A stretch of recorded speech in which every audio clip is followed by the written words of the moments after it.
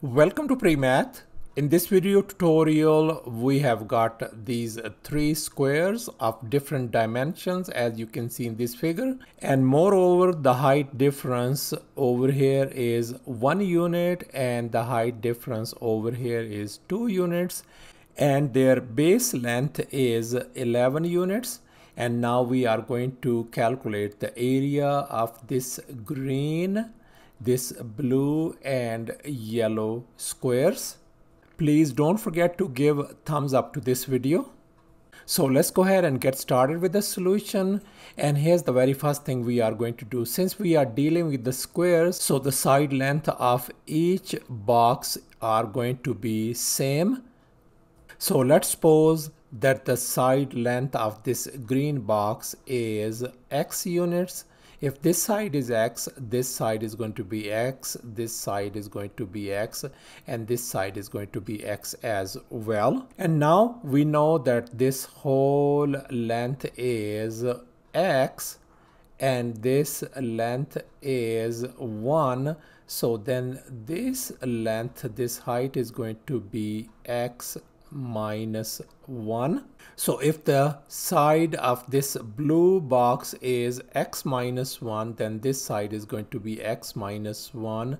This side is going to be x minus 1 and this side is going to be x minus 1 as well. And now we know that this whole height, this length is x minus 1 and this uh, height or length is 2 then this length is going to be x minus 1 and then minus 2 so that is going to give us x minus 3 so for the yellow box this uh, side turns out to be x minus 3 if this side is x minus 3 then this side is going to be x minus 3 as well. This side is going to be x uh, minus 3 and this side is going to be x minus 3 as well. And now we know that this whole base length which is 11 is equal to the sum of these individual lengths. This one x and then this uh, x minus 1 and then this x minus 3. So therefore we can write this one x first and then plus uh, this uh, x minus 1 and then uh, plus uh, this x minus 3 equals to this total length which is 11 so if we add these like terms we're gonna get 3x minus 4 equals to 11 so let's go ahead and add 4 on both sides. This is gone. So 3x turns out to be 15. Let's divide both sides by 3. So that means our x value turns out to be 5 units.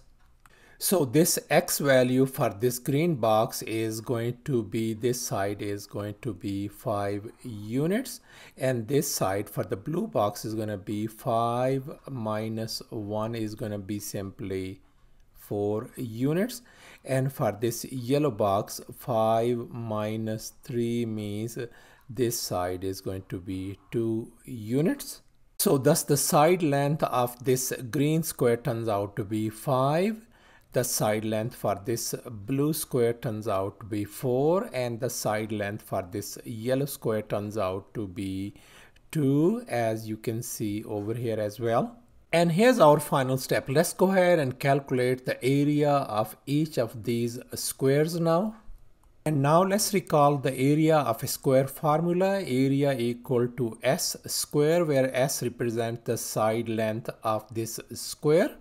So let's focus on this green square. The area of this uh, green square is going to be, we know this uh, side length is 5.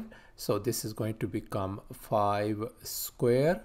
So area turns out to be 25 square units. And now let's focus on this blue square. The side length of the blue square is 4 units. So area is going to be 4 and then square. So area turns out to be 16 square units. And finally for this yellow square so the area is going to be 2 square. So area turns out to be 4 square units. So thus the area of this green square turns out to be 25 square units for this blue square is 16 square units and finally yellow square it is 4 square units. Thanks for watching and please don't forget to subscribe to my channel for more exciting videos. Bye.